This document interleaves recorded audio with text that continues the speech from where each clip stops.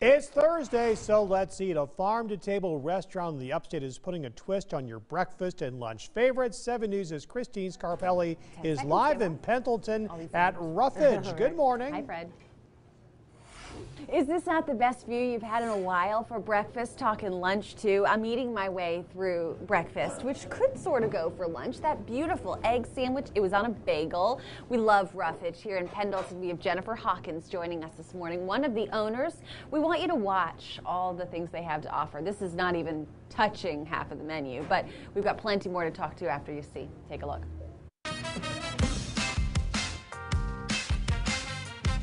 All right, to be completely honest, the only thing I knew about this restaurant in Pendleton, South Carolina was that their pictures of their food online looked too good to be true. But I followed my gut, or maybe just my appetite. It led us here to Ruffage in Pendleton, and boy, did they not disappoint. Take a look. Ruffage means to us real food, real ingredients, fresh. We try to use the best of everything. That's Jennifer Hawkins, a northerner with more than 25 years of restaurant experience. Her partner, Eric Omick, has more than 30 years, most of it in Hawaii.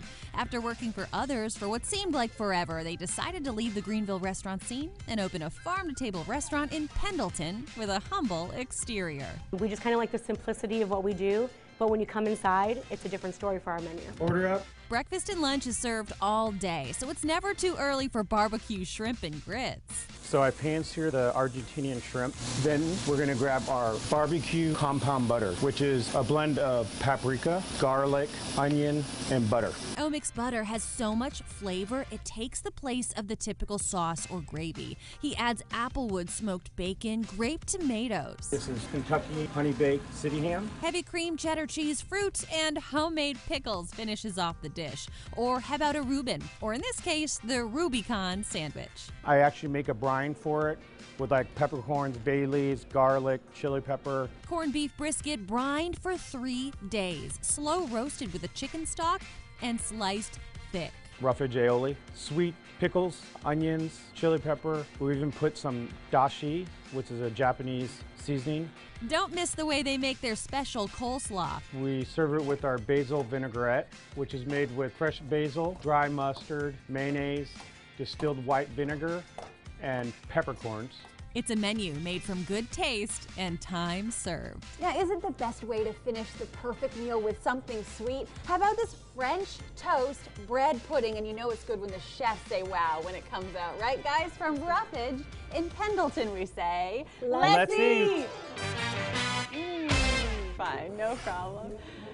Yes, so much fun. Okay, we're here at Ruffage. As you saw, some beautiful lunch selections. We got on to uh, breakfast, I should say, because they're open 7 to 2.30, Wednesday through Sunday. Uh, they do a couple special dinners that we'll talk about as well occasionally. You got to sign up for those.